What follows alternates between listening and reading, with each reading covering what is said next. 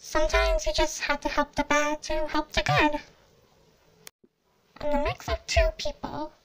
The good side and the bad side. I guess you can call me a dark angel. If you gave me pizza, I would have left you alone.